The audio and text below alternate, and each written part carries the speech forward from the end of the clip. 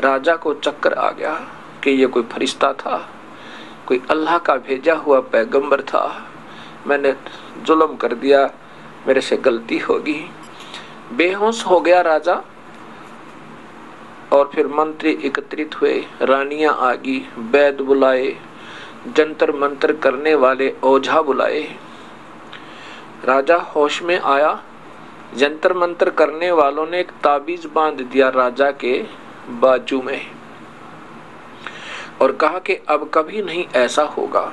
ये कोई प्रेत आत्मा की फटकार थी। राजा उधर से आ, राजा तो होश में आ गया। उधर से कबीर साहब उसी दिन उसी समय कुछ समय के उपरांत उस कैद में पहुँचे उस कारागार में पहुँचे जहाँ पर उन भक्त आत्माओं को पीड़ित किया जा रहा था।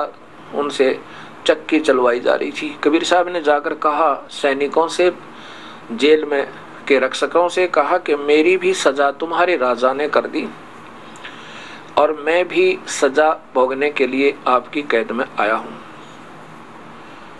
वो सैनिक कहने लगे तय बड़ा शरीफ आदमी भाई आप ही आ रहा है, कहा जी, मेरी सजा कर दी राजा ने और मैं आ गया। कहा कि, ठीक है। सैनिकों ने कहा कि, ये चक्की है और तो भी पीस बैठ गए। आटा पीसो। कबीर साहब ने कहा भी देखो, एक काम करेंगे हम। चाहे तो आटा पिसवाओ, हमारे से चक्की चलवा लो, और चाहे इसमें कनक डलवा लो। हम एक काम करेंगे। हम आटा पीस, चक्की पीसेंगे तो आप सैनिक इसमें वो कनक डालोगे। दोनों काम हम नहीं करेंगे। अब सैनिकों ने सोचा, सिपाहियों ने, कि ये तो बड़ा उग्रवाद दिया है भाई। क्रांतिकारी, इसको करते हैं ठीक। कहने लगा सिपाहियों ने कहा कि ठीक है, तुम चक्की पीसो और हम कनक डालेंगे। सिपाहियों ने सोचा कि पहले अच्छी अच्छी कनक डालेंगे ज़्यादा ज़्यादा और जब इनसे चक्की नहीं चलेगी तो लठ लगाएँगे, इनका डंडे लगाएँगे, इनको सजा डबल देंगे। कबीर साहब ने कहा कि ठीक है, हमें मंजूर है। सभी भक्तों से, सभी संतों से, भक्तात्माओं से कहा कि तुम सभी खड़े हो जाओ अपनी अपनी चक्कियों के पास। और कबीर साहब ने कहा कि तुम चक्कियों में कनक डालने के लिए तैयार हो जाओ। कबीर साहब ने अपनी चक्की जो उनके सामने थी, उस चक्की का एक डंडा होता था, किला बोलने उसको उसको ऐसे पकड़ के हिला, चलाया करते थे हाथ से। वो एक खुट्टी सी होती है, एक डंडा सा होता है, पत्थर के पार्ट के ऊपर फिक्स होता है, होता था। अब तो कम होगी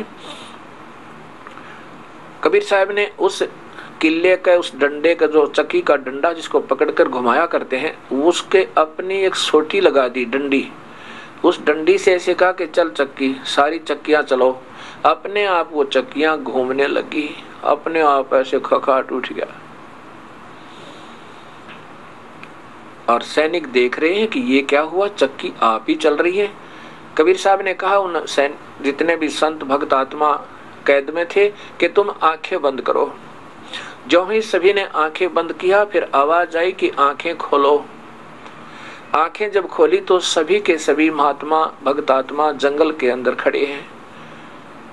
और कबीर साहब ने कहा कि यहाँ से भाग जाओ, इस नादान के राज्य में फिर मत आना।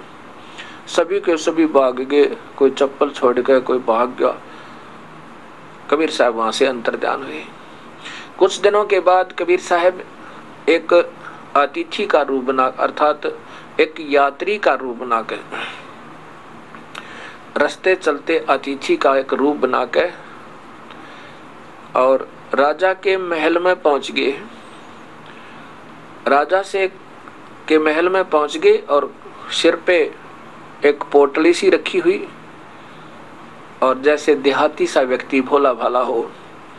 ऐसा स्वरूप बना के राजा के महल के रहने के, यानी रेजिडेंशियल प्लेस के अंदर पहुँच गए जहाँ राजा स्वयं विराजमान था। और आगे पहरेदार भी थे, लेकिन उन पहरेदारों को कबीर परमेश्वर दिखाई नहीं दिए। राजा ने पूछा, भाई तो कौन है? यहाँ कैसे आ गया? कबीर साहब ने कहा कि, मैं ऐसे किसी शहर में जाना था, गाँव में, और मुझे देर हो गई है। शाम का समय हो गया है। वह मैं पहुँच नहीं सकता तो मैंने सोचा कि इस शहर में आज रात्रि बिताऊं और सुबह जाऊँ। तो मैं यहाँ आपकी इस धर्मशाला में। आपकी इस सराय के अंदर रात रुकना है। एक कमरा बता दे और उसका किराया बता दे, धर्मशाला वाले। राजा से कबीर परमेश्वर एक भोला भाला सा रूप बनाकर कह रहे हैं कि इस तेरी धर्मशाला में, तेरी सराय में, इस होट रेस्टोरेंट में एक कमरा दे दे मुझे और उसका रात्रि का किराया बता दे क्या लेगा। राजा पहले तो हंसा, उसके बोलेपन पे, कबीर साहब के बोलेपन पे। राजा ने सोचा, ये नादान है बोलेपन में आ गया। कहने लगा, नादान, ये कोई सराय थोड़ी है? ये तो राजा का राजमहल है। दिखाई नहीं देता तुझे? तो कबीर साहब ने कहा कि आपसे पहले इस राजमहल में कौन रहते थे? अब राजा ने कहा कि मेरे पूर्वज रहा करते थे। और वो कहाँ गए? तेरे पूर्वज कहाँ गए? वो तो कबीर साहब ने पूछा। राजा अब्राहिम सुल्तान अधम ने उत्तर दिया, वो तो अल्लाह खुदा को प्यारे हुए। आप कितने दिन रहोगे राजन इस महल में? अब जब अपनी मृत्यु का नंबर आता तब भय बहुत लगता है। राजा ने कहा कि जाना तो हमने भी पड़ेगा, जाना तो हमें भी है एक दिन। तो कबीर साहब ने कहा कि नादान तो इसको राजमहल समझता है? तो ये सराय है। जैसे तेरे मात पिता चले गए, तेरे बाप दादा चले गए पीढ़ी चली गई, ऐसे ही बेटा तू चला जाओगा इसलिए मैं इसको धर्मशाला सराय बता रहा हूँ। वह तेरे बाप दादा पड़ पीटी। वह भी रहे सरा में गिद्दी सराय के अंदर और नादान इसी में रहे।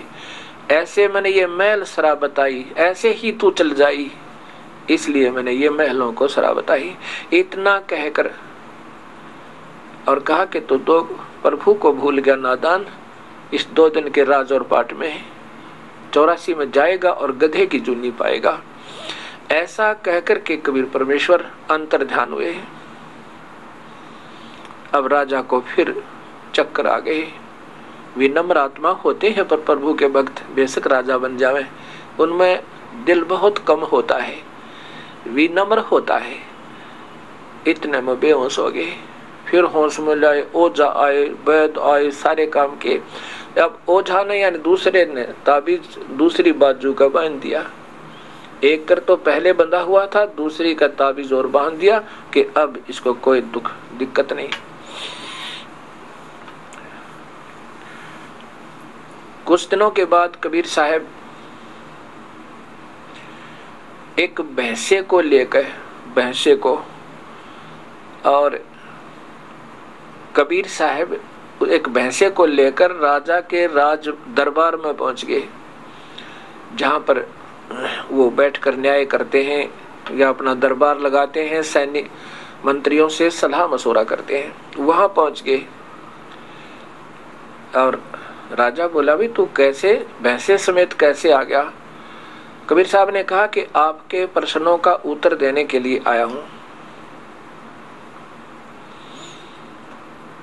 कबीर साहब ने कहा, उसने, राजा ने कहा कि क्या, बोलो उत्तर दो। कबीर साहब ने कहा कि आपने पूछा है, कोई मेरे प्रश्न का उत्तर दे कि भगवान कैसा है, अल्लाह कैसा होता है, उसको दिखा दे तो मैं मान जाऊँ। आखा, मेरा ऐसा ही प्रश्न है। आप बताओ और दिखाओ। कबीर साहब ने उस भैंसे की कमर पर थप, ऐसे थप थपा दिया और कहा कि बैसाराम बताए इसको। अल्लाह कैसा होता है? तब भैंसा बोला कि, राजा, ये परमेश्वर खड़ा है और जो कुरान शरीफ में कबीर, अल्लाह कबीर, अल्लाह अकबर, अल्लाह कबीर, वो कबीर परमेश्वर जिसने छह दिन में सृष्टि रची और सातवें दिन तख्त पर विश्राम किया, ये वो परमात्मा है। इतना कहकर के अंतर ध्यान हो गए। राजा फिर बेहोश हो गया। फिर बुलाए जंतर मंत्र करने वाले, और एक न गले में तबीज बाँध दिया। उसके बाद क्या होता है? राजा बहुत मायूस रहने लगा कि ये क्या जीवन है? और प्रभु अल्लाह की प्राप्ति नहीं हुई तो ये राजपाठ दो दिन का ऐसा सोचते सोचते फिर काफ़ी समय बीत गया। एक राजा क्या करता था, दिन के समय दोपहर में दो घड़ी, दो चार घंटे एक दो घंटा अपने